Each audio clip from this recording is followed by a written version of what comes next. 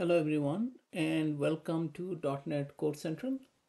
Today I'm going to talk about an open source WebSocket client which can be used connecting to WebSocket services. So for the purpose of this demonstration I'm going to use a web-based WebSocket which is openly available and show how we can use this client to connect to that WebSocket and receive messages. So the project URL for this WebSocket server is available here. And this is the .NET Core or .NET Standard version of the library. The documentation is available in the original library, which was built in .NET 4. star. So in terms of documentation, they have quite decent amount of documentation covered here. And this is how we should be using this library in terms of connecting to a WebSocket and getting message. So it's pretty standard.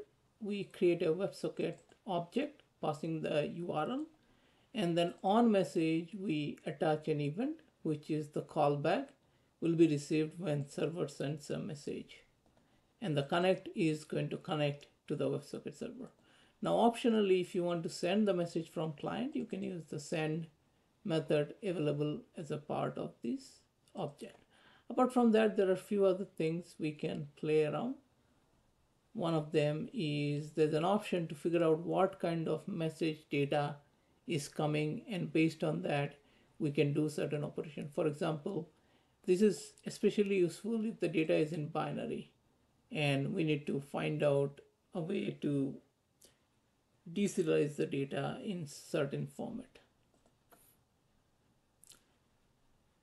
And then there's a on error event which we can attach to capture any event. And then finally there's an on close event which also we can capture. An on close event is usually useful for reconnecting back to the server at some reconnection logic. So I am using this Socket Bay, which is a publicly available website. We can use this for testing some demo application so we can connect to it and start sending message and this is the URL and that is what I'm going to use in my project. So here what I have done as you can see I have first created an object of the WebSocket from that NuGet package and it takes the URL. So I'm passing the URL. Optionally, you can also pass the protocol, which I'm not passing here. And I'm using using statement here so that after it gets out, it can be disposed and then there is a property called log where we can set up the log level.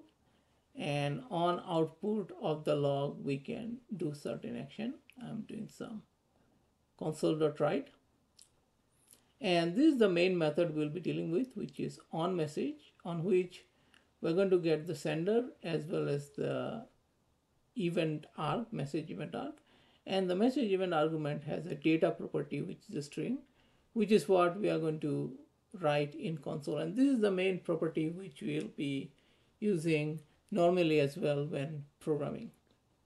And then here on error, I'm just capturing this and I am, and the E here is error event arg. So I can use E dot message or the exception itself to log in case of an error and this is going to give the exception object itself and here on error all I'm doing is I'm printing out the exception and then delaying or sleeping for 1000 millisecond or one second and then trying to reconnect to the web WebSocket again.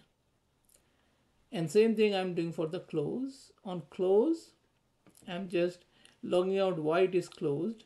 The event arg here, which is close event arg has code and reason. So we can log the code and the reason and reason usually tells exactly what happened. These are the two main properties that we have that we can play around with. And then here, as I mentioned, I'm just sleeping for a second and then trying to reconnect.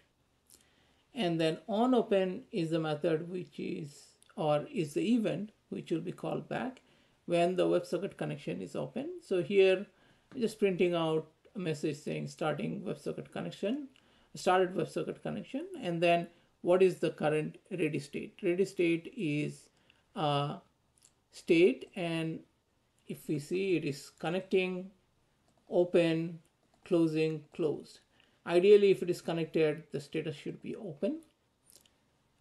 Pre-open, it will be connecting, and then closed and pre-closed is closing. These are the four states that are available.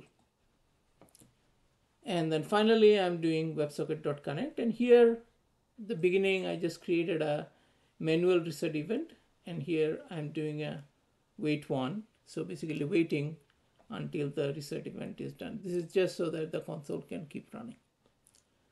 So now what I can do is I can try running this application. And once I run the application, I should be seeing the connected message and the ready state should be open. So here you can see it says started. Let me increase the font a little bit. So you can see here started WebSocket client and then state is open. This is, I should have kept a little bit of space between the two. Otherwise it's confusing. So let's run again. And here we can see started WebSocket client and the state is open. Now let's go to the socket bay and let's send here a message and we can say hello from socket server. And now if we go here, we can see here, hello from WebSocket server. And here, if you see that this is nothing but the log that I added, right? Because I said log everything, log trace. So it is logging everything here. Now, if I go back to my log and instead of trace just put it as error then we are not going to see those logs anymore so it's connected let's go back here and let's send another message. Message. Send it. And this time we just see another message. So this is how we can utilize this open source NuGet package. The reason I came across this package is usually if we are using SignalR as our WebSocket server, we can use SignalR client very easily. But I have found SignalR client not working very well with some other WebSocket format and that is where I had to end up using this WebSocket Sharp. So that is all I wanted to cover for today's video. If you like this video, please give it a thumbs up. And if you are new to this channel and if you think you are getting value out of this channel, please subscribe to the channel. And thanks so much for watching this video.